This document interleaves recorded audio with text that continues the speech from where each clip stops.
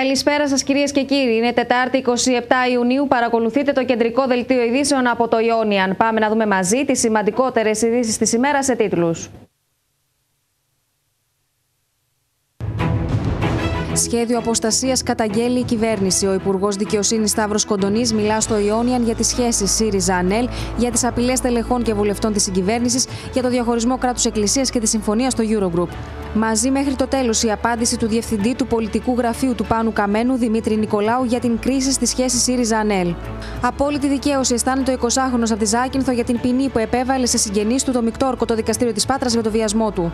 Παρουσία του Υπουργού Δικαιοσύνης και του Αρχηγού ΓΕΣ στα εγγένεια της στρατιωτικής γέφυρας στη Ζάκυνθο στο ποτάμι του Αγίου Χαραλάμπους. Πάνω από 13.000 ευρώ αφαίρεσαν τέσσερις δράστες με τη μέθοδο της απασχόλησης από ηλικιωμένο στα πετράλωνα φυγαλίας. Ξεκίνησε το Ευρωπαϊκό Πρωτάθλημα Τοξοβολίας Νέων στην Πάτρα 500 αθλητές από 40 χώρες.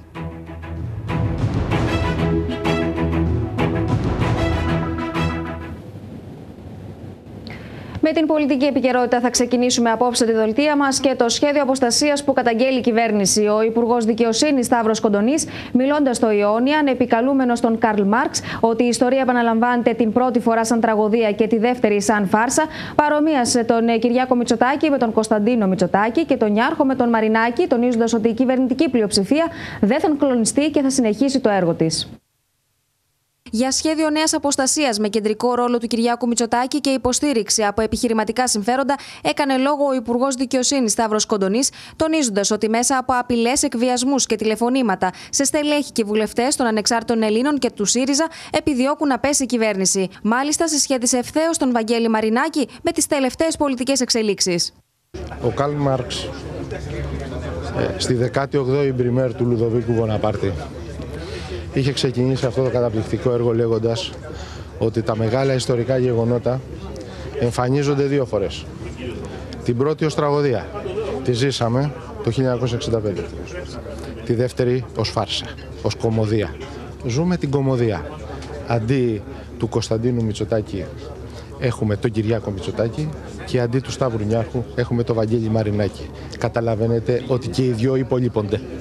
Ο κ. Κοντονής επισήμανε ότι η κυβερνητική πλειοψηφία δεν θα κλονιστεί και ότι θα συνεχίσει το έργο της για τις φοροελαμφρύνσεις των οικονομικά ασθενέστερων και για τον δημοκρατικό και προοδευτικό εξυγχρονισμό της χώρας. Ο Υπουργός για τη Συνταγματική Αναθεώρηση και τις προτάσεις για διαχωρισμό Εκκλησία-Κράτου υποστήριξε ότι οι σχέσεις πρέπει να είναι διακριτές και ότι η κυβέρνηση δεν θα πάρει μονομερείς αποφάσεις. Ο χωρισμός κράτους-εκκλησίας θα βοηθήσει πολλαπλώς την Εκκλησία να λειτουργήσει με μεγαλύτερη ελευθερία και χωρίς το σφιχτό έλεγχο του κράτους. Θα πρέπει όμως να ρυθμιστούν σοβαρά θέματα που είναι τα ζητήματα της φορολογίας, της μισθοδοσίας του κληρού και τα συντοξιδοτικά.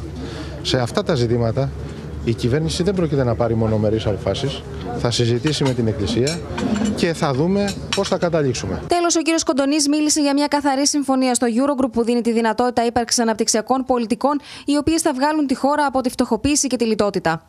Έχουμε πλέον μια συμφωνία αρρύθμισης του χρέους. Ήταν ε, κάτι το οποίο πολλοί είχαν προδιαγράψει ότι δεν θα γίνει ποτέ. Σήμερα έχουμε μια καθαρή συμφωνία για το χρέος και έχουμε μπροστά μας τουλάχιστον 15 χρόνια για τα οποία δεν θα βαρύνεται ο κρατικός προϋπολογισμός με τα χρέη τα οποία άλλοι δημιούργησαν εις βάρος του ελληνικού λαού και εμείς καλούμεθα να ρυθμίσουμε. Ε, θεωρώ ότι η συμφωνία αυτή δίνει τη δυνατότητα ε, ύπαρξης αναπτυξιακών πολιτικών για τη χώρα οι οποίες θα βγάλουν τη χώρα από τη φτωχοποίηση, την κοινωνική ερήμωση και τη λιτότητα η οποία επί 8 χρόνια μάστησε την ελληνική κοινωνία. Ο Υπουργός επισκέφθηκε σήμερα τη Ζάκυνθο για τα εγγένεια της στρατιωτικής γέφυρας του Αγίου Χαραλάμπους. την επιβολή πολιετών ποινών κάθριξης στους τρεις κατηγορουμένους που άσκησαν ασελγή πράξη σε βάρος ανήλικου από τη Ζάκυνθο, αποφάσισε το μεικτό ορκωτό δικαστήριο της Πάτρας. Η αυλαία της εκδίκασης της τραγικής ιστορίας βιασμού, αποπλάνηση και κατάχρησης ανηλίκου έπεσε, δικαιώνοντας τον νεαρό και την οικογένειά του.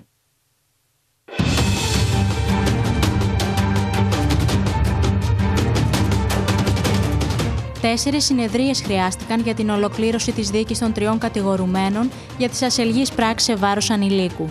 Η οδυνηρή ιστορία εκτελήχθηκε στη Ζάκυνθο από το 2007 έως το 2016, οπότε και το παιδί βρισκόταν σε απόγνωση και αποκάλυψε την ιστορία στην οικογένειά του. Στην κατάθεση του νεαρού και των συγγενικών του προσώπων αποτυπώθηκαν οι σκληρές λεπτομέρειες του εφιάλτη που βίωνε όλα αυτά τα χρόνια. Από ηλικία 9 ετών είχαμε την πρώτο αδίκημα, το αδίκημα της αποπλάνησης από συγκεκριμένο κατηγορούμενο, ο οποίος καταδικάστηκε. Στη συνέχεια από το 13 και μετά έχουμε αδικήματα. Κατάχρηση ανηλίκου σε ασέλγεια από δύο κατηγορούμενους, καθώς επίσης και βιασμό.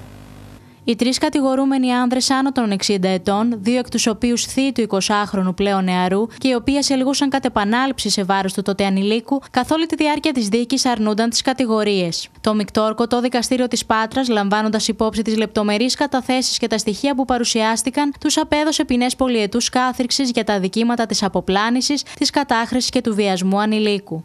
Τα σκληρά βιώματα και ανατριχιαστικές λεπτομέρειες της κατάθεσης του νεαρού οδήγησαν στην ομόφωνη απόφαση της πολιετούς κάθερξης. Αυτό το παιδί, σε αυτό μάλλον το παιδί έχουν αποτυπωθεί όλα όσα βίωσε με κάθε λεπτομέρεια στην ψυχή του. Η οικογένεια νιώθει ανακουφισμένη, όπως νιώθει και ο νεαρός ανακουφισμένος. Η τραγική ιστορία έκλεισε αποδίδοντας το αίσθημα δικαίωσης στο νεαρό και την οικογένειά του. Παρουσία του Υπουργού Δικαιοσύνης, του Αρχηγού ΓΕΣ και εκπροσώπων των τοπικών αρχών και φορέων πραγματοποιήθηκαν τα εγγένεια της στρατιωτικής γέφυρας στο ποτάμι του Αγίου Χαραλάμπου στη Ζάκυνθο. Πρόκειται για ένα έργο που θα λύσει το κυκλοφοριακό πρόβλημα στην περιοχή και υλοποιήθηκε σε συνεργασία με το στρατό και το 747 τάγμα μηχανικού μέσα σε σύντομο χρονικό διάστημα.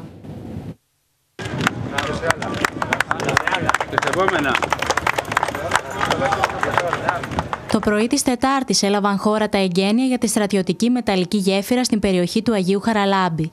Κατά τη διάρκεια της τελετής των εγγενείων, τον αγιασμό τέλεσε ο Μητροπολίτης Δοδόνης κ. Χρυσόστομος, ενώ χαιρετισμό πραγματοποίησε και ο Υπουργός Δικαιοσύνης κ. Σταύρος Κοντονής.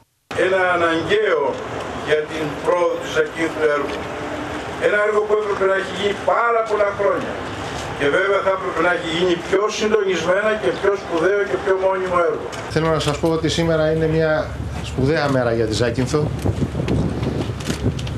διότι στη σειρά υλοποίησης των έργων που εξαγγέλουμε πήρε σειρά και η γέφυρα του Αγίου Χαραλάμπους. Το συγκεκριμένο έργο είχε ξεκινήσει από τις αρχές του 2000, ωστόσο οι τότε συνθήκες δεν επέτρεψαν την υλοποίησή του. Μετά από περίπου μια εικοσαετία, το Λιμενικό Ταμείο, σε συνεργασία με το στρατό και το τάγμα 747 του Μηχανικού, προχώρησαν στην κατασκευή και την υποθέτηση της γέφυρας.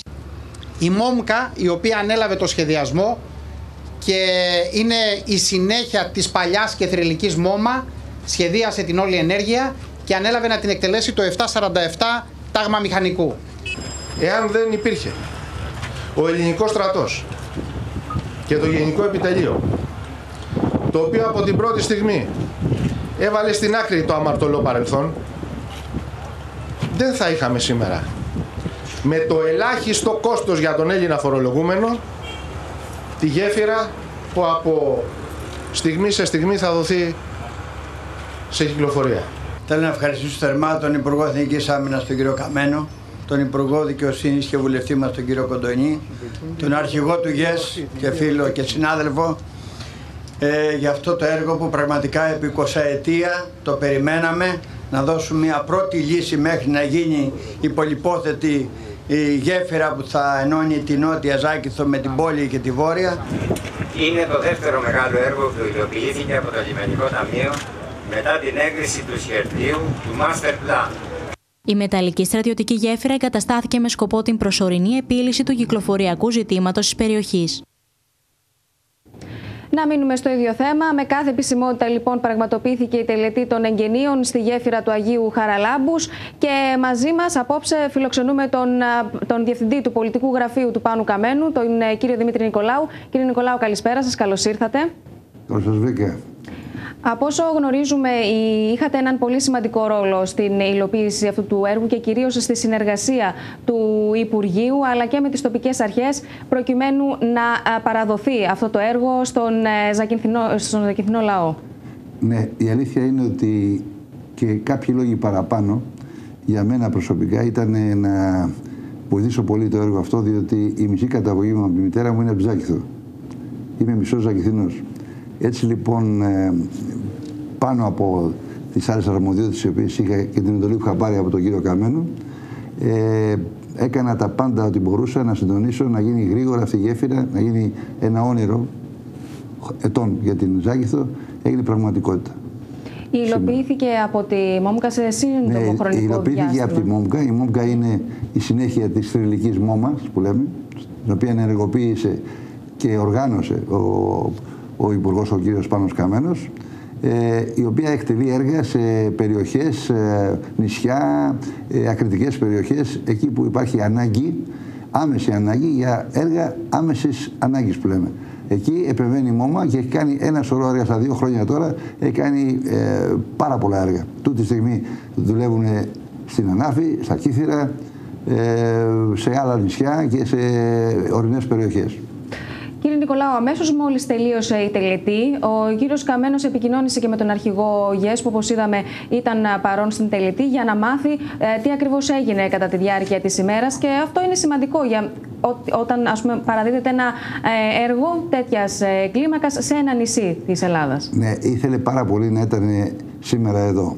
Παρακολουθούσε σε καθημερινή βάση ας πούμε, την πορεία του έργου αυτού ε, δεν μπόρεσε όμως γιατί ε, μεταβαίνει σήμερα στην Αίγυπτο, α, με, αύριο μεθαύριο πάει στην, στις ε, Βρυξέλλες, ε, έχει ένα πολύ βεβαρημένο πρόγραμμα και έτσι δεν μπόρεσε να είναι εδώ.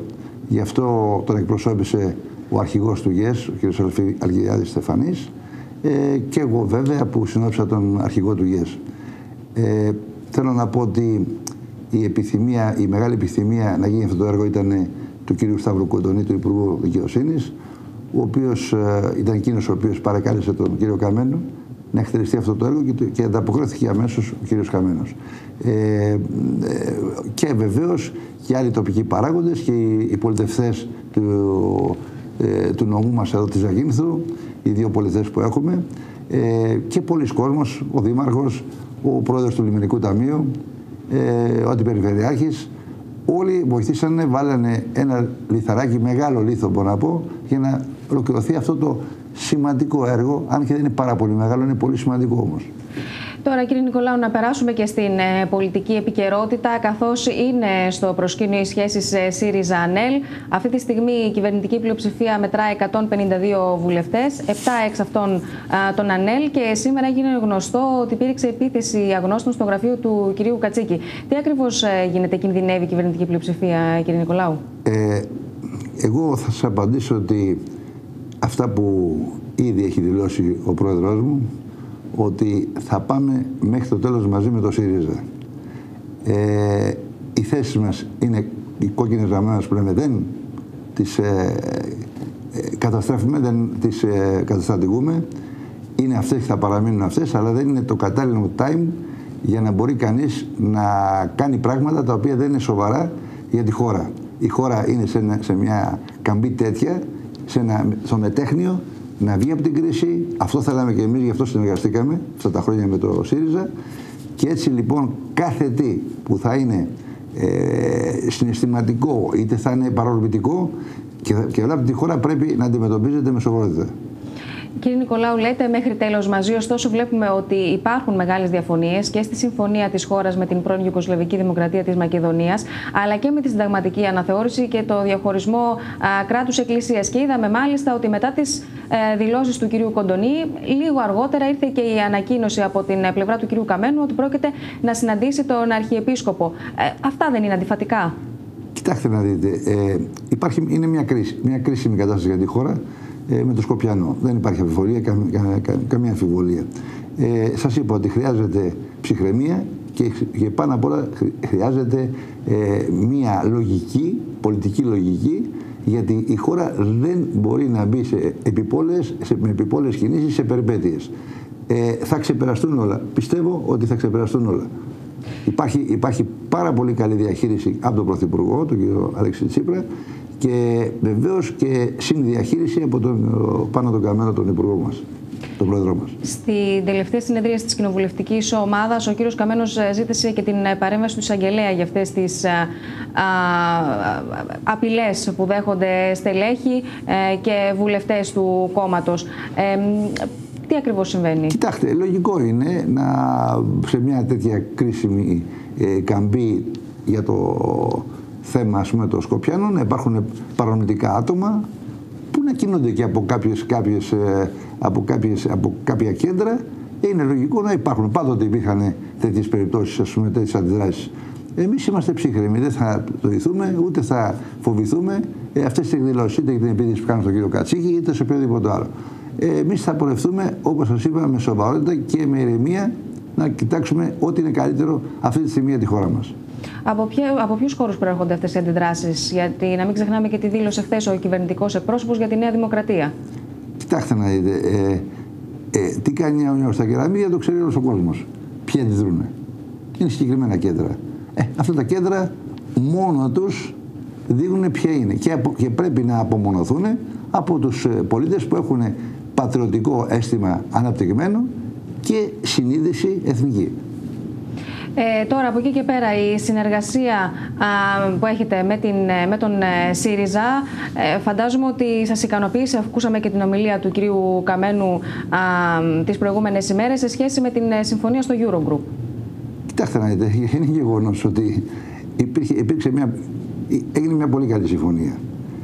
Δεν την αμφισβητεί κανείς. Την αμφισβητούν μόνο για πολιτικούς λόγους κάποια κόμματα τη αντιπολίτευσης.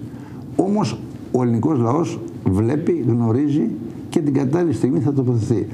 Να σε έχουν λίγο υπομονή κάποιοι, τι εκλογές θα έρθουν. Θα δείξουν τα αποτελέσματα. Μάλιστα. Κύριε Νικολάου, σας ευχαριστούμε πάρα πολύ που ήσασταν ε, μαζί μας απόψε. Καλώ ήρθατε. Και εγώ ευχαριστώ πάρα πολύ. Να είστε καλά. Και να αλλάξουμε θέμα, η κακοκαιρία για άλλη μια φορά προκάλεσε ιδιαίτερα προβλήματα στον κάμπο της Δυτικής Αχαία. Δεκάδες στρέμματα καλλιεργειών καταστράφηκαν από τις δυνατές βροχοπτώσεις και το χαλάζι. Οι αγρότες βρίσκονται σε απόγνωση και ζητούν να γίνει άμεσα καταγραφή από τον ΕΛΓΑ. Η κακοκαιρία που έπληξε την χώρα προκάλεσε ιδιαίτερα προβλήματα κυρίως στις αγροτικές καλλιέργειες. Στην Δυτική Αχαία, μέσα σε λίγους μήνες, είναι η τρίτη φορά που η κακοκαιρία προκαλεί καταστροφές στα αγροτικά προϊόντα, με αποτέλεσμα η παραγωγή να βρίσκονται σε απόγνωση. Υπάρχουν πλημμύρες, έχουν πλημμυρίσει εκτάσεις οι οποίες δεν επανέρχονται μέσα στο καλοκαίρι. Δεν μπορούν δηλαδή να ξανακαλλιεργηθούν, δεν προλαβαίνουν να ξανακαλλιεργηθούν. Επιπτώσεις δηλαδή σοβαρές, τέτοιες τις οποίες θα φανούν και στην αγορά μετά από λίγες μέρες που θα υπάρχει έλλειψη προϊόντων, θα αναγκαστούν να καλύψουν την αγορά από τις εισαγωγές, οι οποίες αγόμενα προϊόντα θα είναι πανάκριβα για τα φτωχά λαϊκά στρώματα των πόλεων που δεν θα μπορούν να απολαύσουν κυπευτικά που τα προηγούμενα χρόνια τα είχαν αφιδών και πάφθηνα. Δεκάδες στρέμματα χωράφια με καλλιέργειες διαφόρων προϊόντων όπως καρπούζι, πατάτες, πεπόνι αλλά και πιπέρι καταστράφηκαν ολοσχερός. Οι αγρότες ζητούν την άμεση παρέμβαση από την κεντρική διοίκηση προκειμένου να γίνει καταγραφές στις ζημιές για να μπουν στη διαδικασία των αποζημιώσεων. Τι γίνεται όμως με τις προηγούμενες αποζημιώσεις από τον ΕΛΓΑ, σύμφωνα με τον κύριο Θανόπουλο, ακόμα περιμένουν τα χρήματα και για το λόγο αυτό αναμένεται να προβούν σε κινητοποιήσει στην αποκεντρωμένη διοίκηση. Στις 3 του μήνα Ιούλη θα βρεθούμε στην αποκεντρωμένη διοίκηση διαμαρτυρία όλοι οι αγροτικοί σύλλογοι του νομού Αχαΐας που καλούμε τον κόσμο πρώτα απ' όλα τους, αγρο... τους κτηνοτρόφους οι οποίοι έχουν σοβαρό πρόβλημα με τις τιμές του γάλατος και του κρέατος και με τη διάθεση στο προϊόν το οποίο προειδοποιούν οι γαλακτοκομικές εταιρείες ότι θα σταματήσουν να ε, παίρνουν τις ποσότητες τις οποίες παράγουν οι αγρότες όλοι και εν πάση περιπτώσει υπάρχουν σοβαρά προβλήματα και με τις ζημιές τελευταίες αλλά και με ζημιές προηγούμενων ετών οι οποίες δεν έχουν ολοκληρωθεί οι αποζημιώσεις και δεν έχουν πληρωθεί οι αγρότες. Να αναφέρουμε ότι για το θέμα των καταστροφών στις καλλιέργειες από την κακοκαιρία υπάρχει παρέμβαση και από το Δήμο Δυτικής Αχαΐας προς τον ΕΛΓΑ. Thank you. Τα έντονα καιρικά φαινόμενα που εκδηλώθηκαν το μεσημέρι προκάλεσαν προβλήματα στην κυκλοφορία των οχημάτων στην Εθνική Οδό Πατρών Αθηνών. Ορμητικά νερά και φερτά υλικά έκοψαν στα δύο την Εθνική Οδό και οι οδηγοί εγκλωβίστηκαν. Η εικόνα θα μας μεταφέρουν οι συνάδελφοι Νίκος Γιαπρακάς και Γιάννης Πομόνης. Καλησπέρα, Νίκο. Καλησπέρα, Γιάννη. Θα ξεκινήσουμε πρώτα με τον ε, Γιάννη Πομόνη για να μας μεταφέρει εικόνα από το πώς έχει τώρα η κατάσταση, καθώς βρίσκεται καθοδόν, είναι στην ε, Εθνική Οδό Πατρών Αθηνών. Αθηνών. Γιάννη, καλησπέρα. Καλησπέρα Γεωργία κύριε Σική. Μέσα από λεωφορείο του υπεραστικού κτέλ ε, βρισκόμαστε εν κινήσει. Πριν από λίγη ώρα περάσαμε από το ύψος ε, των διοδίων της Ελευσίνας, εκεί όπου τα οχήματα πήγαιναν σημειωτών. Ταχύτητες ε, το πολύ έως 15 χιλιόμετρα για τα οχήματα τα οποία μόλις περνούσαν τα διόδια κολούσαν. Ουρά τουλάχιστον 2 με 3 χιλιόμετρα μέχρι να περάσουν το σημείο κατά το οποίο ο, το βουνό, ο λόφος στο σημείο κατέρευσε το λύστηση στο σημείο λόγω των, της έντονης βροχόπτωσης ε, και τα ορμητικά νερά ε, σαν ποτάμια έφεραν ε, λάσπη και πέτρες στο δόστρωμα. Τα είδαμε με τα μάτια μας, πολλά οχήματα της πυροσβεστικής τα οποία κινούνται για να λύνουν το δρόμο. Επίσης φορτωτές, φορτηγά οχήματα τα οποία στα οποία φορτώνονταν το υλικό το οποίο είχε καταλήξει στον ασφαλτοτάπητα και ε, και, πολύ, και λίγο νωρίτερα είχε προκαλέσει κυκλοφοριακό κομφούζιο έφραγμα στο σημείο με μεγάλη δυσκολία στην κίνηση. Υπήρχε μεγάλος κίνδυνος ολιστικότητας, αλλά πριν από λίγη ώρα υπήρχε κίνδυνος ακόμη και ατυχήματος. Θα σας αναφέρω πως υπήρχαν ακόμη και ε, μικρές πέτρες και μεγαλύτερες πέτρες τις οποίες είχε παρασύρει το νερό, το βρόχινο νερό και τις είχε κατεβάσει στο δρόμο. Το σημείο καθαρίζεται. Αυτή την ώρα μπορούμε να πούμε ότι είναι αρκετά καλύτερα. Μόλις κανείς περάσει τα διόδια της Ελευσίνας από το ρεύμα της Αθήνας προς την Πάτρα, τα πράγματα γίνονται καλύτερα και οι ταχύτητες ε, βελτιώνονται αισθητά. Ε, να πούμε ότι τα δρομολόγια του υπεραστικού κτέλ γίνονται, ευτυχώς γιατί νωρίτερα υπήρχε πρόβλημα γι' αυτό, γίνονται και το σημείο βελτιώνεται διαρκώς, η κατάσταση και το πρόβλημα εκτονώνεται. Γιάννη, να σε ευχαριστήσουμε πάρα πολύ για την εικόνα που μας μεταφέρεις τώρα από την Εθνική Οδό Πατρών Αθηνών. Πάμε στον Νίκο τον Γιαβρακά για να μας πεις, ε, Νίκο, ουσιαστικά περισσότερα πώς ξεκίνησε το πρόβλημα και τι γίνεται από εδώ και στο εξής. Ήταν αργά το απόγευμα όταν ε, τόνοι λάσπης και νερού ε, βρέθηκαν ξαφνικά δημιουργήθηκε ένα μεγάλο ποτάμι το οποίο κατέληξε στην ε, Εθνική Οδό Πατρών Αθηνών ε, αποκόπτοντας τελείως την ε, κυκλοφορία των οχημάτων και στις τρεις λωρίδες που υπάρχουν ανακατεύθυνση. Ε, πραγματικά η κίνηση των οχημάτων θα ήταν εξαιρετικά επικίνδυνη κάτω από αυτές τις συνθήκες. Έτσι λοιπόν οι αρχές διέκοψαν την κυκλοφορία στο συγκεκριμένο σημείο προκειμένου να γίνουν οι απαραίτητοι καθαρισμοί και πυροσβεστική υπηρεσία που έφτασε στο σημείο, αλλά και εργαζόμενοι από την ε, Ολυμπία Οδό, παρά το γεγονός ότι σε κάποια σημεία ο, το πρόβλημα δεν ήταν πάνω στην Ολυμπία Οδό, αλλά σε ε, δρόμους οι οποίοι οδηγούν προς την Ολυμπία Οδό, ε, μπήκαν στην μάχη για τον ε, καθαρισμό του δρόμου. Ε, πριν από λίγη ώρα, λοιπόν, είχαμε την κατάληξη στο να ανοίξουν κάποιες λωρίδες κυκλοφορίας, κυρίως στο ρεύμα που είναι από την Αθήνα προς Πάτρα. Εκεί ήταν περισσότερο το μεγαλύτερο πρόβλημα. Και να σου πω, Γεωργία, ότι με σύμφωνα και την τελευταία ενημέρωση από την ε, αστυνομία στην Εθνική Οδό ε, Αθηνών Κορίνθου στο 29,5 χιλιόμετρο στο ρεύμα προς την Κόρινθο είναι ανοιχτές μόνο δύο λωρίδες κυκλοφορίας. Στην παλιά Εθνική Οδό Αθηνών Θηβών από τη γέφυρα της Μάδρας στο ρεύμα, προς κυκλοφορίας, ε, στο ρεύμα κυκλοφορίας προς την Θήβα επίσης είναι κλειστό. Ο κόμβος Μάνδρας Μαγούλας στο ρεύμα προς Αθήνα είναι κλειστός. Η Αττική Οδός έξοδος προς Μάνδρα είναι επίσης κλειστή ενώ υπάρχουν προβλήματα και σε διάφορες οδούς μέσα στην ε, πόλη της ε, Μάνδρας. Να πούμε επίσης ότι η δυσχέρεια υπάρχει και στην κίνηση των ε, οχημάτων στη Νέα Εθνική Οδό Αθηνών Κορίνθου στο ύψος από το Δαφνί μέχρι, το, μέχρι τα διηληστήρια. Επίσης δεν διεξάγεται η κυκλοφορία και στην παλιά Εθνική Οδό και επειδή οι μετρολόγοι Γεωργία προβλέπουν και για το βράδυ κάποια ισχυρή βροχόπτωση στην περιοχή, εάν κάποιοι θέλουν να ταξιδέψουν, καλό είναι ίσως πρώτα να ενημερωθούν για την κατάσταση που θα επικρατεί εκείνη την ώρα, αν θα υπάρχουν πάλι έντονα καιρικά φαινόμενα ή όχι, προκειμένου να μην ταλαιπωρηθούν. Πάντως φαίνεται ότι από αύριο ο καιρός θα είναι λίγο καλύτερος, απλά θα υπάρχει μια μικρή πτώση στην θερμοκρασία στην περιοχή μας, αλλά φαίνεται ότι τα πολύ έντονα καιρικά φαινόμενα δεν θα μας απασχολήσουν τόσο. Αυτά λοιπόν είναι τα προβλήματα που έχουν καταγραφεί μέχρι στιγμής. Νίκο, να σε ευχαριστήσουμε πάρα πολύ. Καλό σου βράδυ. Αλλάζουμε θέμα, κυρίες και κύριοι. Η μετροπολογία που θα κατατεθεί εντός των ημερών στη Βουλή απαντάει η κυβέρνηση στις ανησυχίες της Δημοτικής Αρχής της Πάτρας για το ζήτημα του θαλασσίου μετόπου. Με την τροπολογία αυτή θα ολοκληρωθεί η σημαντική διεκδίκηση της πόλης των Πατρών, η οποία έχει ξεκινήσει εδώ και τουλάχιστον 15 χρόνια.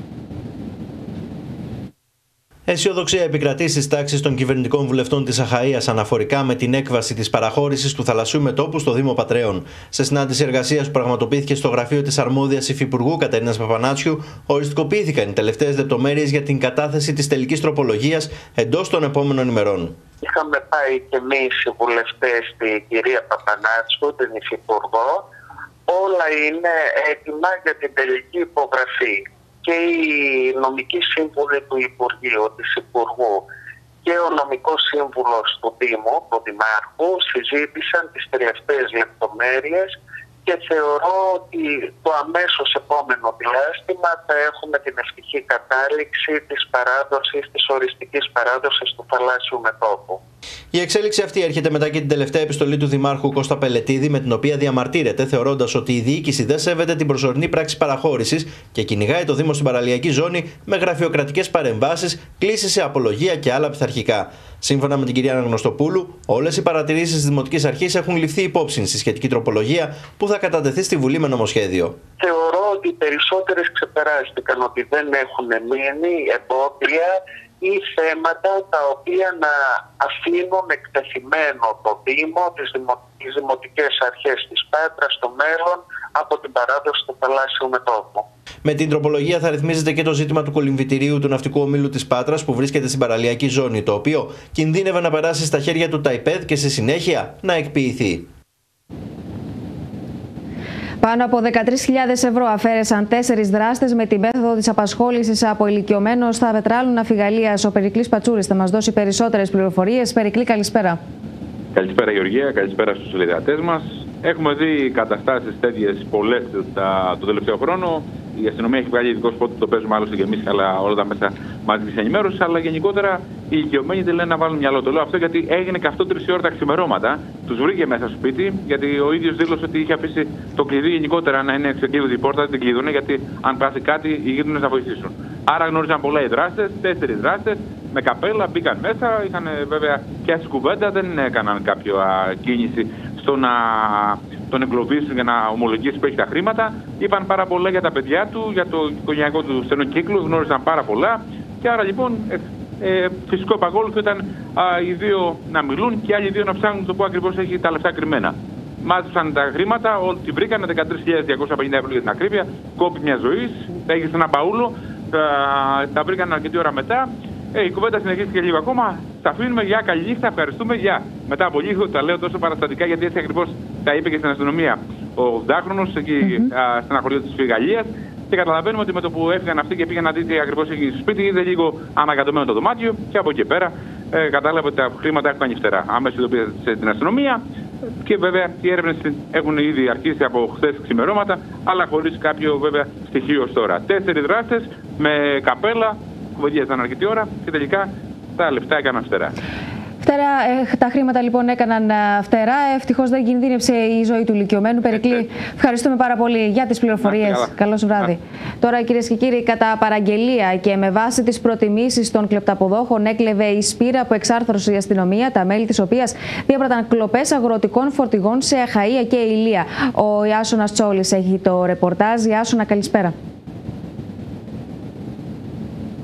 Καλησπέρα Γεωργία, κυρίες και κύριοι. Πραγματικά αποκαλυπτικά είναι τα όσα έρχονται στο φως της δημοσιότητας για τη δράση της ε, Σπύρας η οποία σε διάστημα ενός έτους από τον Μάρτιο του 2017 έως και τον Μάρτιο του 2018 είχε διαπράξει 17 ξεχωριστές ε, κλοπές. Πέντε άτομα συνελήφθησαν για την, ε, με την κατηγορία ε, της συμμετοχής στη συγκεκριμένη Σπύρα κακουργηματικού χαρακτήρα δικογραφία από 18 έως 32 ετών οι πέντε συλληφθέντες. Ε, πάμε να δούμε τώρα πώς ακριβώς ε, δρούσαν. Στο διάστημα αυτό λοιπόν είχαν διαπράξει 17 κλοπές, οι οποίες ε, οι περισσότερες από αυτές αφορούσαν σε κλοπές αυτοκινήτων, φορτηγών ιδιωτικής χρήσης για την ακρίβεια, ε, τις οποίες έκαναν όπως είπες και εσύ Γεωργία κατά παραγγελία των κλεπταποδόχων, οι οποίοι τους έλεγαν τι ακριβώς μάρκες ε, και μοντέλα αυτοκινήτων θέλουν. Στη συνέχεια, ε, αφού έβρισκαν, εντόπιζαν τα συγκεκριμένα αυτοκίνητα στους δρόμους,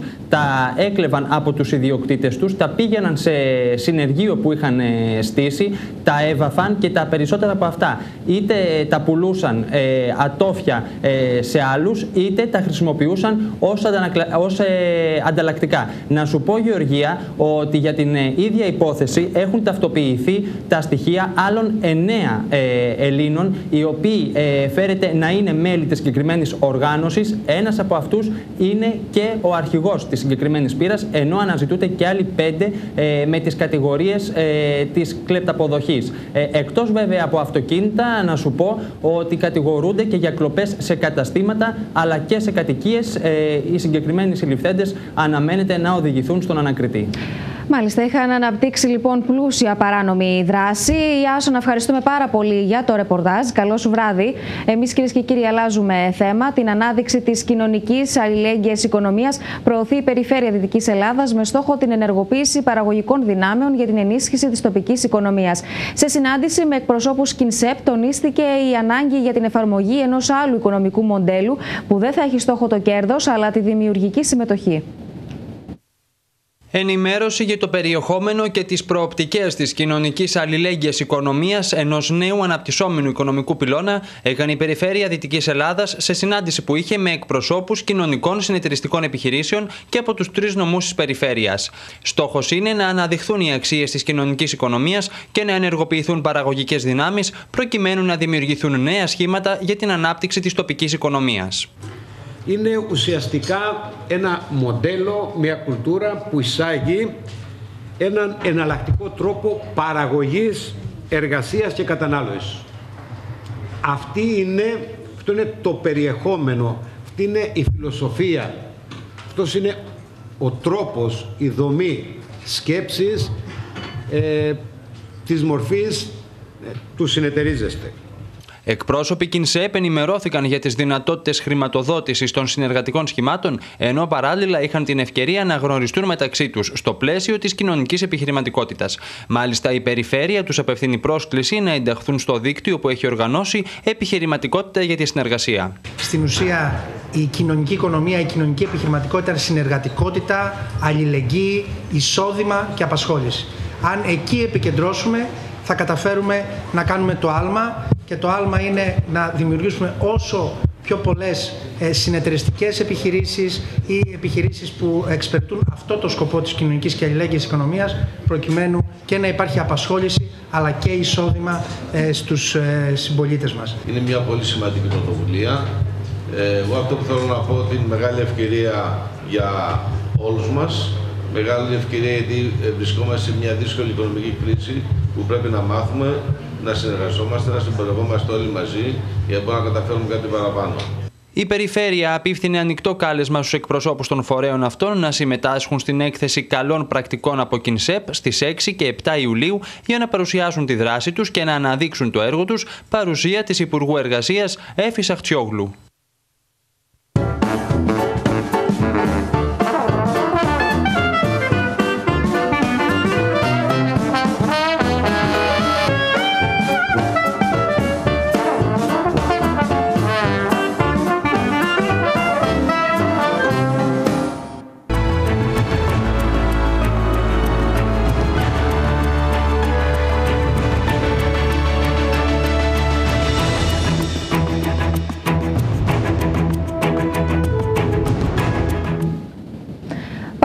Παρακολουθείτε το κεντρικό δελτίο ειδήσεων από το Ιόνιαν. Πάμε να δούμε και τις υπόλοιπες ειδήσεις από την περιφέρεια. Στην Αθήνα συναντήθηκαν ο Δήμαρχος Καλαμάτας με τον ειδικό γραμματέας ΔΙΤ Νίκο Ματζούφα με κύριο θέμα συζήτησης τον εξυγχρονισμό του λιμανιού Καλαμάτας. Ο Παναγιώτης Νίκας τόνισε για ακόμα μια φορά ότι το λιμάνι πρέπει να αποκτήσει κυρίως τουριστική ταυτότητα με στόχο την ανάπτυξη ολόκληρης της Καλαμάτας. Την σύμπραξη του ιδιωτικού και του δημόσιου τομέα με συμβάσεις ΔΙΤ για τον εξυγχρονισμό του λιμανιού της Καλαμάτας συζήτησε ο Δήμαρχος Καλαμάτας με τον ειδικό γραμματέας ΔΙΤ Νίκο Ματζούφα στην Αθήνα. Κύρια πρόταση του Δημάρχου η εξέλιξη του λιμανιού σε τουριστικό με κύριο στόχο να φέρνει πλούτο στην πόλη. Η σύμπραξη του δημόσιου με τον ιδιωτικό τομέα αυτή τη στιγμή στο κράτος δεν μπορεί να κάνει τις αναγκαίες υποδομές. Δεν έχει τα χρήματα, είναι εκ των όλων κάνευ για την ανάπτυξη του λιμανιού. Ένα λιμάνι το οποίο να έχει σαφή προορισμό στο μεγάλο μέρος του, να υποδέχεται μεγάλα τουριστικά σκάφη, μέγα Σύμφωνα με τον κύριο Νίκα, το ραντεβού με τον Νίκο Ματζούφα είχε προγραμματιστεί μέσω του Υφυπουργού Οικονομίας και Ανάπτυξης Στέριου Πιτσιόρλα, με τον οποίο ο Δήμαρχος της Μεσσηνιακής Πρωτεύουσας είχε πρόσφατα συναντηθεί. Εν ώψη επικαιροποίησης του Master Plan στην Καλαμάτα, ο Δήμαρχος ενημέρωσε ότι το θέμα θα τεθεί και στο Δημοτικό Συμβούλιο για να υπάρχει επίσημα καταγεγραμμένη η άποψη του Δήμου. Εν ώψη της επικαιροποίησης του Master Plan του λιμανιού, ε, το θέμα θα έρθει στο Δημοτικό Συμβούλιο, πιθανότατα στην επόμενη συνεδρίαση, ως πρώτο θέμα στην ημερήσια διάταξη, για να εκφραστεί ο κύριος φορέας της πόλης, που είναι το Δημοτικό Συμβούλιο, επ' αυτού και βεβαίως να ξέρουν και όλοι τη θέση του Δήμου όσον αφορά την επικαιροποίηση του Master Plan. Μοναδική λύση σύμφωνα με τον Δήμαρχο Καλαμάτας είναι το λιμάνι της πόλης να γίνει κυρίως μαρίνα για τη φιλοξενία μεγάλων γιότ. Αυτό θα είναι βασικό στοιχείο και της εισήγησής του στο Δημοτικό Συμβούλιο. Δίνεται τελικά από το αρμόδιο Υπουργείο η παράταση για την προθεσμία οριστικοποίησης των πρώτων εγγραφών στο, στο κτηματολογικό γραφείο Πάτρας, όπως ζητούσαν φορείς της περιοχής. Χιλιάδες ιδιοκτήτες ακινήτων κινδύνευαν να χάσουν τις περιουσίες και να περιέλθουν αυτές στο ελληνικό δημόσιο. Ευχάριστα είναι τα νέα για τους ιδιοκτήτες ακινήτων στην Αχαία, οι οποίοι δεν έχουν ακόμα τακτοποιήσει τις εκκρεμότητες που έχουν με την ένταξη των ακινήτων τους στο Εθνικό Κτηματολόγιο. Τελικά, στην ιστοσελίδα της Βουλής αναρτήθηκε τροπολογία για παράταση στην προθεσμία οριστικοποίησης των πρώτων εγγραφών στο Κτηματολογικό Γραφείο Πάτρας, όπως ζητούσαν φορείς περιοχής. Έγινε μια σημαντική προσπάθεια, βοήθησε πάρα πολύ σε αυτό και η περιφέρεια της Δυτικής Ελλάδας, περιφέρεια η οποία ε, εντάξει, ήταν καθοριστικός ο ρόλος της. Ε, και όλοι μαζί και οι υπόλοιποι φορείς και οι βουλευτές του νομού μας, κάποιοι βουλευτές, ε, βοήθησαν ώστε να φτάσουμε σε αυτό το σημείο και να επίκειται τώρα η ψήφιση της παράτασης. Εάν δεν υπήρχε η εξέλιξη αυτή από τις 30 Ιουνίου και μετά, όσοι πατρινοί δεν είχαν δηλώσει περιουσίες τους, αυτές κινδύνευαν να περιέλθουν στο ελληνικό δημόσιο. Στην κατηγορία αυτή υπάγονται αρκετοί ιδιοκτήτες, οι οποίοι είτε είναι κάτοικοι εξωτερικού, είτε για προσωπικούς λόγους ή ηλικιακούς λόγους δεν είχαν κάνει τη σχετική δήλωση στο κτηματολόγιο. Όλοι οι συμπολίτες μας δεν πρέπει να επαναπαυθούν από την παράταση, πρέπει να σπεύσουν στους δικηγόρους τους, να ελέγξουν αν πραγματικά είναι οι ιδιοκτησίες τους σωστά ε, στο κτηματολόγιο καταχωρημένες γιατί σε διαφορετική περίπτωση θα μπουν σε απίστευτα δικαστικές περιπέτειες. Το πρόβλημα έχει να κάνει με την καθυστέρηση που παρατηρείται στο κτηματολογικό γραφείο της Πάτρας καθώς τώρα ελέγχονται οι πράξεις που έχουν κατατεθεί στο κτηματολογικό γραφείο με πρωτόκολλο μηνός Μαρτίου 2018. Εάν υπήρχαν λάθη, δεν υπήρχε χρόνος για διόρθωση και έτσι οι φορείς ζήτησαν παράταση έως την 31η Δεκεμβρίου, ώστε με τη λήξη και του ημερολογιακού έτους να είναι σαφής και η οριστικοποίηση των εγγραφών του κτηματολογίου. Δυναμικά ξεκίνησε στην Πάτρα το Πανευρωπαϊκό Πρωτάθλημα Νέων Τοξοβολίας. Η αφρόκρεμα των νέων τοξοβόλων με 400 αθλητές από 40 χώρες της Ευρώπης θα δώσουν τον καλύτερο τους σε αυτό με σκοπό την πρόκρισή τους στους Ολυμπιακούς. Το πρωτάθλημα αποτελεί μια μεγάλη αθλητική διοργάνωση που βάζει δυναμικά την Πάτρα στο αθλητικό προσκήνιο άνοιξε η αυλαία για το Πανευρωπαϊκό Πρωτάθλημα Νέων Τοξοβολίας, μια ακόμη μεγάλη ευρωπαϊκή διοργάνωση σε ένα άθλημα ανερχόμενο που βαδίζει όλο ένα προς τα εμπρός. Νέοι αθλητές και αθλήτριες με τους προπονητές και τις αποστολές τους θα βρίσκονται στην Πάτρα μέχρι την 1η Ιουλίου, χαρίζοντας στου θεατές ένα υψηλού επίπεδου αθλητικό θέαμα. Συμμετέχουν πάρα πολλές χώρες ε, από όλη την Ευρώπη και βέβαια εκατοντάδες αθλητές. Αθλητές οι οποίοι θα δώσουν και τον αγώνα τους ε, για την πρόκλησή τους ε, σε μεγαλύτερους αγώνες. Θέλουμε αυτές τις διοργανώσεις για πολλούς λόγους. Το κυριότερο για μας είναι ότι ε, δίνουν μια όθηση στην ανάπτυξη του αθλητισμού ε, και προσελκύουν τα νέα παιδιά μέσα στους αθλητικούς χώρους. Η Πάτρα υποδέχεται αυτές τις μέρες την νεολαία της Ευρώπης στον χώρο της τοξοβολίας. Έχει γίνει μια πάρα πολύ μεγάλη προσπάθεια τόσο από την Ομοσπονδία όσο και από τους τοπικούς φορείς, του οποίους ευχαριστούμε και ιδιαίτερα και συγκεκριμένα δηλαδή, το Δήμο Πατρέων και την Περιφέρεια για τη μεγάλη βοήθεια. Ε, και ελπίζουμε να πάνε όλα καλά και να κορυφωθεί ε, αυτή η μεγάλη διοργάνωση Ανερχόμενα ονόματα της Ευρωπαϊκής Τοξοβολίας συμμετέχουν στους αγώνες, βάζοντας ψηλά τον πύχη των προσδοκιών για τον κάθε διαγωνιζόμενο, οι οποίοι εκτός από την ευρωπαϊκή διάκριση θα επιδιώξουν την πρόκρισή τους στους Ολυμπιακούς Αγώνες Νέων. Αποστολές από 40 χώρες βρίσκονται στην Πάτρα και το παμπελοποννησιακό στάδιο για τις τελευταίες προετοιμασίες πριν από τον αγώνα. Είναι 40 αποστολές. Ο συνολικός αριθμός είναι 480 άτομα. Ε, και ε, είναι ίσως και ρεκόρ συμμετοχών σε μια τέτοια διοργάνωση. Δεν είναι απλό απλά το να πάρεις ένα τόξο και να ρίξεις. Φανταστείτε ότι το τόξο περίπου είναι στο 1,5 κιλό αυτό που κρατάμε αλλά η δύναμη που, που τραβάει ο αθλητής ε, μπορεί να φτάσει και μέχρι τα από 15 έως 20 κιλά ανάλογα το πόσο δύναμη τραβάει ο καθένας. Το Πανευρωπαϊκό Πρωτάθλημα Νέων Τοξοβολίας είναι ακόμη μια διοργάνωση που φιλοδοξεί να βάλει την Πάτρα δυναμικά στον αθλητικό χάρτη της Ευρώπης. Τα προκριματικά του πρωταθλήματος διεξάγονται στο Παπελοποννησιακό στάδιο, ενώ οι τελικοί αγώνες θα δοθούν στο μόλο της Αγίου Νικολάου, με όλους τους αγώνες να είναι ανοιχτοί για το κοινό. Πάμε τώρα στη Σπάρτη, όπου απόψε συνεδριάζει το Δημοτικό Συμβούλιο και μεταξύ των θεμάτων που συζητά και πρόκειται να αποφασίσει είναι η ίδρυση νέων τμήματων βρεφικής, παιδικής και βρεφονιπιακής φροντίδας. Να συνδεθούμε με τον Τάκη Κούρο για να μας δώσει περισσότερες πληροφορίες από τη συνεδρίαση. Τάκη, καλησπέρα. Καλησπέρα Γεωργία, καλησπέρα στους uh, τηλεθεατές. Έτσι όπως είπες, σήμερα λοιπόν προτάθηκε κατά πλειοψηφία και πέρασε από το Δημοτικό Συμβούλιο ε, η αίτηση συμμετοχής στο πρόγραμμα χρηματοδότησης από το Υπουργείο Εργασίας Κοινωνικής Ασφάλισης και Κοινωνικής Αλληλεγγύης ε, για την ίδρυση τμήματων ε, βρεφικής, παιδικής και βρεφονιπιακής ε, φροντίδας. Ε, ο Δήμος Σπάρτης προτίθεται να δημιουργήσει βρεφικό τμήμα δυναμικότητας 12 ε, ατόμων, 12 ε, βρεφών στον πρώτο παιδικό σταθμό Σπάρτης δεδομένου ότι πληρεί τις προϋποθέσεις ύπαρξης χώρου ικανού να διαμορφωθεί έτσι ώστε να έχει δυνατότητα να στεγάσει το νέο βρεφικό τμήμα. Σύμφωνα με τη μελέτη που συντάχθηκε η Γεωργία από τη Διεύθυνση Τεχνικών Υπηρεσιών, θα προκύψουν εργασίες διαρρύθμισης, ανακαίνιση αλλά και προμήθεια ε, ολόκληρου του κατάλληλου εξοπλισμού για την εύρυθμη λειτουργία του σταθμού.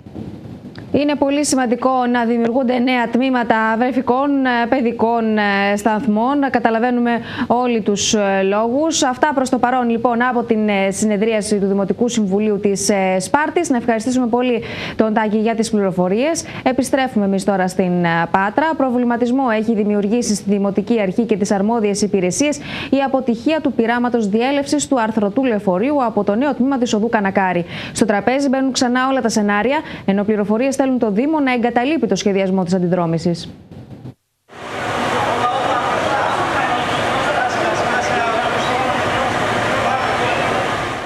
Ξανά στο τραπέζι όλα τα σενάρια βάζει ο Δήμος Πατρέων για το πώς θα λειτουργήσει η διανοιγμένη οδός Κανακάρη. Παρά τις ιδανικές συνθήκες που διαμορφώθηκαν με την απομάκρυνση των σταθμευμένων αυτοκινήτων και την απαγόρευση διέλευσης άλλων οχημάτων, το αρθρωτό αστικό λεωφορείο δεν κατάφερε να περάσει από το δρόμο, δημιουργώντας ξανά προβληματισμό στους ηθήνοντες του Δήμου. Δεν υπάρχει πρόβλημα για βαριά φορτηγά για τα λεωφορεία τα κανονικά Υπάρχει πρόβλημα μάλλον με τα αρθρωτά λεωφορεία, τα πολύ μεγάλα, που στη συναρμογή των δρόμων ε, Καρόλου και, και Άστιγκος με την Κανακάρη. Λόγω των κλίσεων και του μήκους που έχουν υπάρχει πρόβλημα με, στη συναρμογή αυτή. Θα τα εξετάσουμε με τις αντίστοιχες διευθύνσεις του Δήμου, να δούμε αν μπορούν να βελτιωθούν η κατάσταση η αποτυχία του πειράματος και οι τεχνικές αστοχίες που διαπιστώνονται δημιουργούν νέο πονοκέφαλο για το τι μέλη γενέστε με το συγκεκριμένο έργο. Σύμφωνα με πληροφορίες, εξετάζεται σοβαρά η εγκατάλειψη του σεναρίου αντιδρόμησης των οδών Κανακάρη και Κορίνθου και η υιοθέτηση ενός νέου σχεδίου που θα προβλέπει την εκτροπή της κυκλοφορίας από τη Μεζόνο στην Κανακάρη μέσω της οδού Αράτου. Είτε σαν είσοδος είτε σαν έξοδος Ε, η Κανακάρη παρουσιάζει στα δύο συγκεκριμένα σημεία το ίδιο πρόβλημα. Θα εξετάσουμε εναλλακτικά σενάρια σε περίπτωση που δεν είναι δυνατή η βελτίωση της καμπύλης συναρμογής ε, στα συγκεκριμένα σημεία των δρόμων. Σε κάθε περίπτωση πάντως, η Δημοτική Αρχή της Πάτρας την Ιεβίκο ΑΟΤΑ στις παρατηρήσεις και τους προβληματισμούς τόσο των κατοίκων της περιοχής όσο και άλλων εμπλεκόμενων φορέων της πόλης και δηλώνει αποφασισμένη να λύσει το γρίφο της Κανακάρη, αποσυμφορίζοντας παράλληλα το κυκλοφοριακό της αχαϊκής πρωτεύουσας. Νωρίς ξεκίνησαν οι προετοιμασίες για τη δεύτερη βραδιά Shock Price στην Τρίπολη. Οι φορείς της πόλης συναντήθηκαν για τον προγραμματισμό των δρόμενων που θα πλαισιώνουν την βραδιά των προσφορών που θα γίνει τέλος Αυγούστου στην καρδιά της Αρκαδίας.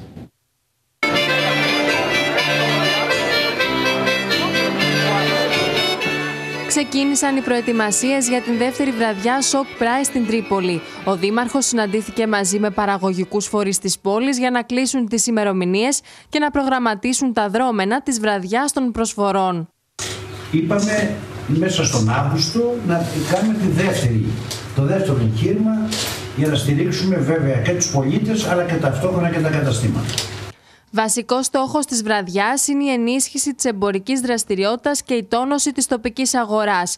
Η διοργάνωση της Shock Prize βραδιάς θα είναι ακόμη πιο οργανωμένη, με μουσικά σχήματα να δίνουν τον παλμό, αλλά και διάφορες εκδηλώσεις από τον Δήμο και τους επιχειρηματίες να δίνουν ζωή στους κεντρικούς δρόμους της πόλης. Είμαστε πολύ ευχαριστημένοι από τα αποτελέσματα που είχαμε την πρώτη, κατά την πρώτη διοργάνωση και επίσης είμαστε πολύ ευχαριστημένοι γιατί φέτος ξεκινάμε πολύ πιο νωρίς ούτως ώστε να έχουμε τη δυνατότητα να σκεφτούμε και άλλες ε, δράσεις και να πάμε ακόμα καλύτερα. Ε, εκείνο που θέλω να διαβεβαιώσω ότι θα υπάρξουν ε, την ημέρα της διοργάνωσης αυτής ε, πάρα πολύ μεγάλες εκπτώσεις όπως με διαβεβαιώνουν τα καταστήματα ακόμα ακόμα και τα καταστήματα εστίασης και ε, ψυχαγωγίας θα έχουν ειδικές ε, εκπτώσεις. Τέτοιες προοδευτικές ενέργειες, τέτοιες ενέργειες που υλοποιούμε και καθόμαστε και συζητάμε σήμερα εδώ, είναι για αυτό το σκοπό. Προβάλλουμε τις επιχειρήσεις, αλλά προβάλλουμε και την ίδια μας την πόλη. Πρόθεση όλων η καλύτερη εξυπηρέτηση του πολίτη μέσα από συνέργειες, αλλά και ακόμη μεγαλύτερη συμμετοχή καταστημάτων στην βραδιά των προσφορών. Η δεύτερη βραδιά Shock Prize στην Τρίπολη θα γίνει τέλος Αυγούστου, με ντόπιου και επισκέπτες να την περιμένουν για να κάνουν τις αγορές τους, αλλά και για να διασκεδάσουν. Στο ναύπλιο βρίσκεται ο πρωθυπουργός του Κατάρ και μέλος της βασιλικής οικογένειας της χώρας, Σεήχη Χαμάντ Αλ Χθανή, ο οποίος μαζί με μέλη της οικογένειάς του έφτασε στο ναύπλιο με την πολυτελή θαλαμιγό του.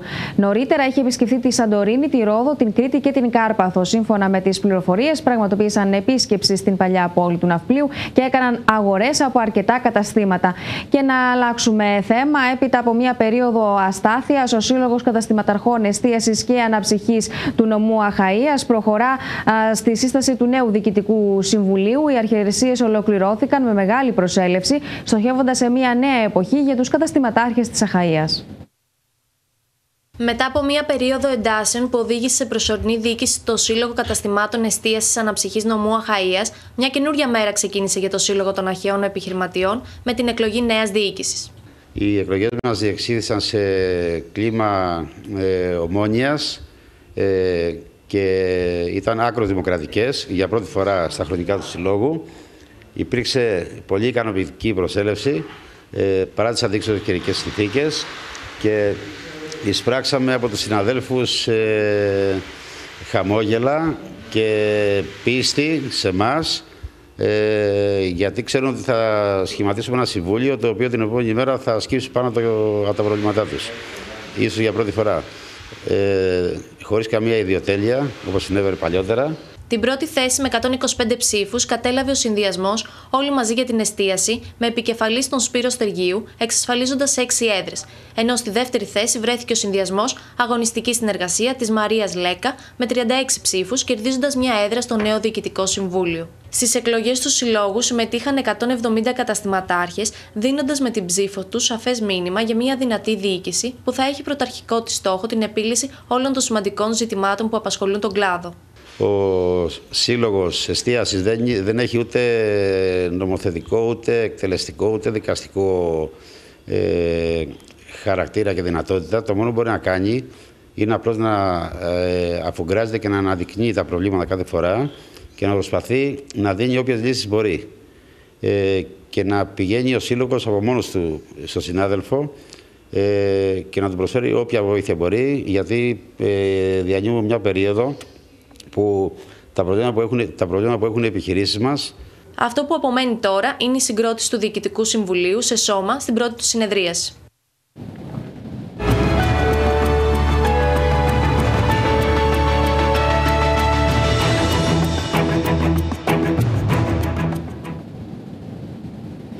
Και να περάσουμε στην αθλητική επικαιρότητα. Μαζί μας είναι ο συνάδελφος Διονύσης Μπινιόρη. Καλησπέρα, Διονύση. Καλησπέρα, Γεωργία. Το ενδιαφέρον πολλών ξένων συλλόγων συγκεντρώνει ο Τάσος Δουβίκας του Αστέρα Τρίπολης. Όλα είναι ανοιχτά για το αν θα μείνει στον Αστέρα Τρίπολης ο Τάσος Δουβίκας, που ίσως κάνει το επόμενο βήμα στην καριέρα του. Τις μεταγραφές της προγραμματίζει η ομάδα της Πάρτης στη Β' Εθνική, ενώ ο Μίκη Τσίρκοβιτς εκτός απρόπτου θα αναλάβει τον Πάο Βάρδα στη Γ' Εθνική. Ένα από τα μεγάλα ταλέντα του ελληνικού ποδοσφαίρου είναι ο Τάσος Δουβίκα του Αστέρα Τρίπολη. Ο 19χρονο επιθετικός ήδη έχει μπει στο στόχαστρο σπουδαίων ευρωπαϊκών συλλόγων και δεν αποκλείεται από τη φετινή χρονιά να κάνει το επόμενο βήμα στην καριέρα του. Μάλιστα για αυτόν τον λόγο ο ταλαντούχος ποδοσφαιριστής προσέλαβε ως ατζέντη του τον Πίνι Ζάχαβη που είναι ένας από τους πιο έμπειρους στον χώρο και μπορεί να τον βοηθήσει για να βρει την επόμενη ομάδα που θα αγωνιστεί. Στη Β' Εθνική, αν και το θέμα των προσφυγών δεν έχει λυθεί ακόμα στην Σπάρτη, η ομάδα κινείται στο μεταγραφικό κομμάτι για να κλείσει το ρόστερ της νέας χρονιάς. Παρά τα αντικειμενικά προβλήματα που αντιμετωπίζουν οι Λάκονε, δεν θέλουν να αφήσουν πίσω τον προγραμματισμό τους και σύντομα θα αρχίσουν να ανακοινώνουν παίκτες που θα στελεχώσουν το ρόστερ, ενώ σύντομα θα κλείσει για το θέμα του προπονητή. Στη Γάμα Εθνική, ο Μίκη Τσίρκοβιτς θα είναι όπως όλα δείχνουν ο νέος προπονητής των Πάο Βάρδας. Ο Σέρβος τεχνικός που έχει περάσει και από την δόξα Νέας Μανολάδας θα οδηγήσει φέτος τον σύλλογο της Βουπρασίας στις εθνικές κατηγορίες. Στόχος είναι μια καλή πορεία με την δίκηση να έχει ανανεωθεί, ενώ για άλλη μια χρονιά θα προσπαθήσει να βασιστεί σε παίκτες του νομού για να τελειώσει η χρονιά με επιτυχία. Στην πρώτη του μεταγραφική κίνηση προχώρησε ο κόρυβος Αμαλιάδας για το πρωτάθλημα της Α2 Μπάσκετ, ενώ την αποχώρησή του από τις εθνικές κατηγορίες καλαθοσφαίρισης ανακοίνωσε ο Αρκαδικός. Δυναμικά ξεκινάει τις μεταγραφικές του κινήσεις για την Α2 μπάσκετ ο κόρυβος Αμαλιάδα, ο οποίος ανακοίνωσε την απόκτηση του Βασίλη Λαμπρόπουλου που έρχεται από τον Γλάφκο. Ο 28χρονο Γκάρντο δίκησε τον Αχαϊκό Σύλλογο στην άνοδο στη Β' Εθνική και θα αποτελέσει σημείο αναφοράς και για την ομάδα από την Ηλία που διεκδικεί την επιστροφή της στην Basket League. Εκτός από τον Γλάφκο, ο Λαμπρόπουλος πέρασε από τον Ερμή Λαγκαδά, τον Φίλιππο Βέρια, στο Αγρίνιο, τον Φιλαθλητικό και τον Γυμναστικό Σύλλογο Λάρισας. Σε μια δυσάρεστη απόφαση προχώρησε η διοίκηση του Αρκαδικού αφού μετά τον περσινό υποβιβασμό της ομάδας στη Β' Εθνική Μπάσκετ ανακοίνωσε ότι αποχωρεί από τις εθνικές κατηγορίες και επιστρέφει στα πρωταθλήματα της Ένωσης Καλαθοσφαιρικών Σωματείων Κεντρικής και Νότια Πελοποννήσου. Στην ανακοίνωσή της, η διοίκηση αναφέρεται στην δύσκολη πορεία για να φτάσει η ομάδα μέχρι την Basket League της σεζόν 2015-16, αλλά και στο πώς ήρθε ο υποβιβασμός, αλλά και οι δυσκολίες στην Α2 μπάσκετ. Ο Αρκαδικός καλείται να αλλάξει σελίδα και να δημιουργήσει μια νέα ομάδα ώστε να μπορέσει και πάλι βήμα-βήμα να επιστρέψει στις εθνικές κατηγορίες και να κάνει περήφανο και πάλι τον νομό Αρκαδίας. Να ευχαριστήσουμε τον Διονύση Μπινιόρ για την ενημέρωση. Στο σημείο αυτό, κυρίες και κύριοι, το κεντρικό δελτίο ειδήσεων του Ιόνιαν ολοκληρώθηκε. Ακολουθεί αναλυτική πρόγνωση του καιρού. Μπορείτε να παρακολουθείτε τα δελτία ειδήσεων και στο διαδίκτυο, στο κανάλι του Ιόνιαν, στο YouTube Ionian Channel. Ευχαριστούμε πολύ για την προσοχή σας. Καλή σας νύχτα.